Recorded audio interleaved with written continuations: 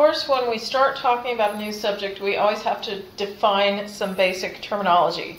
So we're going to start out with that. At the beginning of each chapter, um, in the Mansfield text, there is a list of key terms. And then um, looking at chapter one, basic principle, principles of kinesiology, um, those are all good. Yeah, you should know all those. all those key terms that it lists there. And conveniently enough, they're all in the chapter. So, kinesiology, of course, is the study of movement, and we're going to talk about different types of movement. We're going to start out um, defining our terms. So, kinematics, it's the branch of biomechanics that um, describes the motion of something. They refer to it in the book as a body. It doesn't necessarily mean a human body, but a thing. Um, without regard to the forces that produce the motion. So, um, we're just going to talk about the different types of motion since kinesiology is the study of motion. Uh, so, translation and rotation are the two main types of motion. Translation is where all points in the body move together at the same time. So, um, there are two different types that we'll define rectilinear motion, which is motion in a straight line, and curvilinear motion, which is motion in a curved line. So, I have my snow related pictures here. Um, the little kid on the sled going straight down the hill, that's rectilinear motion, it's a straight line. Um, the, the skier making um, turns as they go down, it's a curved line, that's curvilinear motion, but every point on the body is moving together to get from point A to point B. So you can think of translation as getting from point A to point B. Rotation is the movement of a body, meaning a thing or a part, around an axis. So, um, in the picture, there's someone flexing their elbow. It's the movement of that body segment around the axis of the elbow. So, in um, you can have situations like with this guy where um, he's running and he's got rotation going at his joints and translation going as the whole body moves from point A to point B. So you can have both types of kinematic movement within the same activity. Um, we're also going to define the difference between passive and active movements. So active movements are movements that are created by an active muscle.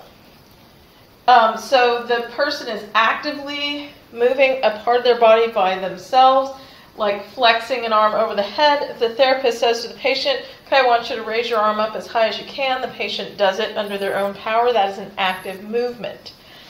Um, passive movements, on the other hand, are generated by sources other than muscular activation, such as gravity or um, another external force moving that arm. So if the therapist says, okay, I want you to relax, and I'm going to lift your arm up over your head. Um, the therapist is providing the external force. The patient's not doing anything.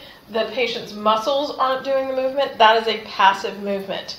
So the difference between active movement and passive movement is um, an internal force versus an external force. So the external force can be gravity. It can be um, the therapist or you know some other thing moving your arm like a continuous passive motion machine. That's a passive movement. Um, or a um, in the book they give the example of the resistance of a stretched ligament. Um, so a stretched lig- the a stretched ligament provides resistance that might then cause that limb to move. So that's a passive movement. It's not actively being caused by the muscles. So um, in defining um, terminology, I'm hoping that none of this is new to you, that you learned it all in anatomy and physiology, and this is just a little nice little review. Um, a lot of the um, kinesiology terminology um, has pairs of um, words that go together that mean opposite things. So the first example of the pair is anterior and posterior. Anterior means toward the front of the body, and posterior means towards the back of the body. And usually, when we're using these comparative terminology terms, um, we're usually saying something is anterior or posterior to something else. Um, so I could say the tip of my nose is anterior um, to my throat, because it's more towards the front of the body, if that makes sense. Um, or I could say my C7 vertebra um, spinous process is posterior to the tip of my nose because it's towards the back of the body. So um, a lot of times we're um, comparing the location of two um, landmarks. So um, the midline we're going to define as an imaginary line that courses vertically through the center of the body. So um, we're just saying, yep, we're dividing in half, that's our midline, and we will talk about things with relationship to the midline. So the next pair is medial and lateral, and medial means toward the midline, and lateral means away from the midline. So for all of this terminology, we are referring to anatomical position as the home position. So as I'm sure you know from anatomy and physiology, anatomical position is the human body standing up, eyes facing forward, palms facing forward. In anatomical position, by definition, all of our joints measure at zero degrees. That is our baseline, that's our anatomical position. And then everything else is relative to that. So when we're um, defining terminology, we always are referring to anatomical position. So medial is toward the midline of the body, lateral is away from the midline of the body. So we could say the eyes are lateral to the nose. Um, or the arms are lateral to the body. Or when we're in anatomical position, we could say the thumbs are lateral to the fingers, or the fingers are medial to the thumbs. So it all refers to anatomical position. The next set of um, paired words is superior and inferior. So superior means above or toward the head, and inferior means below or toward the feet. Um, there's a, another pair that are similar to superior and inferior um, cephalad or cranial, which means towards the head, and caudal or towards the feet or tail.